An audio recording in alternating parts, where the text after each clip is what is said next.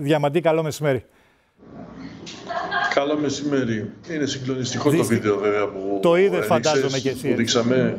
Είναι, είναι συγκλονιστικό το βίντεο πώς αυτοί οι άνθρωποι ε, ρίχνουν το νερό προσπαθώντας να σβήσουν μια ακόμα πυρκαγιά από τις εκατοντάδες που έχουν ξεσπάσει ταυτόχρονα και μετά από λίγα δευτερόλεπτα το αεροπλάνο βυθίζεται και συντρίβεται.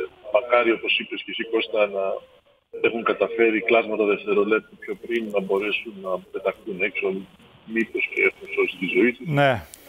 Θα δούμε. Περιμένουμε τι, τα νεότερα. Ας, ε, α, ας ευχηθούμε όλοι το καλύτερο, αλλά με βάση την εμπειρία που υπάρχει, έτσι και εσύ είσαι πολύ έμπειρος και εγώ έχω μια μικρή εμπειρία, η εικόνα αυτή που δείχνει δεν αφήνει πολλά περιθώρια αισιοδοξίας για αυτούς. Συνήθως είναι δύο, από ό,τι ξέρω και εγώ τουλάχιστον, δύο είναι οι πιλότοι οι οποίοι χειρίζονται τα, τα αεροσκάφη, τα πυροσβεστικά αεροσκάφη.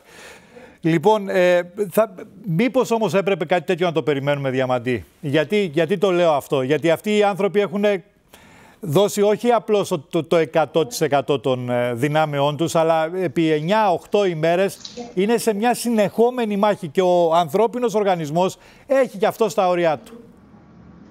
Φυσικά, αυτοί οι άνθρωποι πραγματικά έχουν ξεπεράσει τα όρια τους, τα όρια τα ανθρώπινα και είναι ε, απίστευτο πώς μπορούν 9 ε, μερόνυχτα να δίνουν με, με ελάχιστο ύπνο αυτή τη μάχη που είναι πραγματικά η ζωή τους είναι σε κίνδυνο κάθε ώρα και στιγμή και να πως πολλές φορές μπορεί να συμβεί το κακό από το τίποτα.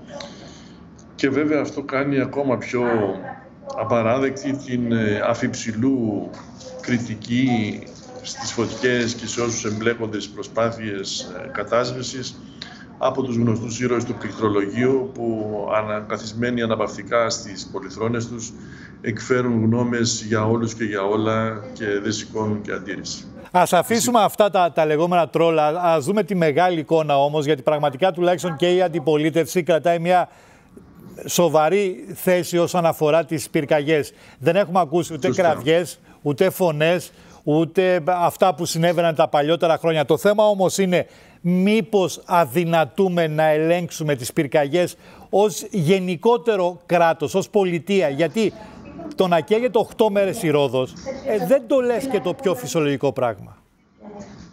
Πρόσεξε, ε, Κώστα, όπου έχουν ξεσπάσει πυρκαγιές, ξέρω ότι είναι σκληρά, ακούγεται σκληρό αυτό που θα πω. Αλλά δυστυχώς αυτή είναι η πραγματικότητα. Όπου έχουν ξεσπάσει πυρκαγιές, σε όλη τη Μεσόγειο, σε όλη τη Νότια Ευρώπη, στην Αμερική, τη Βόρεια Αμερική, την ανεπτυγμένη, όπου ξεσπάνε πυρκαγιές, ξεσπάνε με τέτοιο τρόπο βοηθούσεις και της κλιματικής κρίσης που διαρκούν πολύ καιρό. Δεν είναι πολύ δύσκολο να το καταλάβει ένας άνθρωπος αυτό. Δηλαδή δείτε το νερό που μαζεύει ένα καναντέρ στο βίντεο που έδειξες πριν από λίγο. Ναι. Το νερό που μαζεύει ένα καναντέρ από τη θάλασσα ή από μια λίμνη ανάλογα σε ποιο σημείο βρίσκεται και πώς το ρίχνει πάνω στη φωτιά. Μια φωτιά χιλιόμετρων μια φωτ... ή φωτιές που ανάβουν ταυτόχρονα σε 10, 20, 30 μέρη. Δεν υπάρχει κανένα κράτος, όσο ανεπτυγμένο και αν είναι, ούτε οι Ηνωμένες Πολιτείες, ούτε η Ισπανία, ούτε η Ιταλία, μιλάω για την Νότια Ευρώπη που έχει κυρίως πυρκαγιές. Τώρα εντάξει, η Βρετανία και η Νορβηγία δεν έχουν. Καλά, προφανώς ε... δεν νικέται η, η, η μανία της φύσης αυτό πρέπει να το καταλάβουμε όλοι, δεν νικέται εύκολα. Το θέμα όμως είναι όχι να νικήσεις τη φύση, να προετοιμάσεις τη φύση να μην σε νικήσει αυτή. Σε αυτό έχεις δίκιο. Ε, υπάρχουν πραγματικά νομίζω κενά στο τομέα που λέγεται πρόληψη. Δηλαδή ε, δεν έχουν ανοιχτεί οι αντιπυρικές ζώνες όπως θα έπρεπε στον καιρό που θα έπρεπε, δηλαδή πριν φτάσουμε στο καλοκαίρι με τις μεγάλες φωτιές, με τις μεγάλες θερμοκρασίες και με τους πολύ, πολλούς ανέμους. Τότε ξεσπάνε οι πυρκαγιές. Έπρεπε οι αποκεντρωμένες διοικήσεις και αυτοδιοίκηση, επειδή έχουν πάρει κονδύλια ευρωπαϊκά, να κάνουν πολύ πιο αποτελεσματικά τη δουλειά τους. Επίσης, στα ελληνικά δάση έχει μαζευτεί αυτό που οι επιστήμονες λένε βιομάζα, ναι. η οποία πρέπει να απομακρυνθεί. Γιατί, να, το πω πολύ απλά, αν δεν γίνονται ε, αφαιρέσεις αυτού του, του, του, υλικού που είναι καύσιμο υλικό, ξεραμένα χόρτα, ξεραμένα δέντρα, ε, πράγματα που εμείς οι πολίτες πάμε και πολλές φορές ασυλλόγιστα αφήνουμε, πάμε να κάνουμε ένα πικνίκ και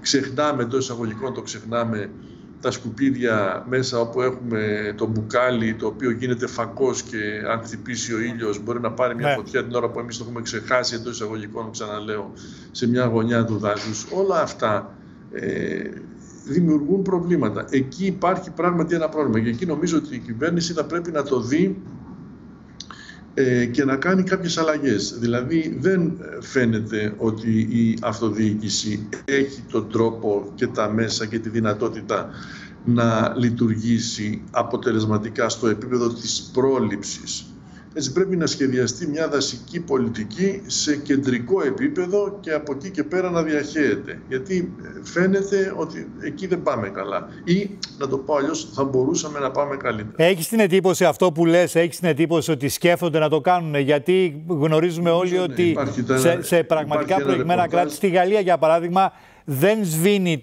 δεν σβήνουν τις φωτιές, τις πυροσβέστες που σβήνουν τις φωτιές σε σπίτια, αλλά τις σβήνουν τις φωτιές στα δάση οι δασοκομάτων και οι δασοπυροσβέστες.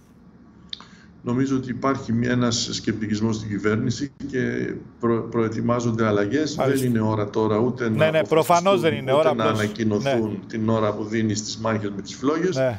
Αλλά οπωσδήποτε νομίζω ότι λοιπόν. σε δεύτερη φάση, αμέσως μετά το καλοκαίρι, μόλις ξεμπλέξουμε με όλα αυτά, θα πρέπει να υπάρχουν ε, σε ευχαριστώ πάρα πολύ. στον τρόπο. Διαματή μου, σε ευχαριστώ πάρα πολύ για την παρουσία σου. Να είσαι καλά. Λοιπόν, ε,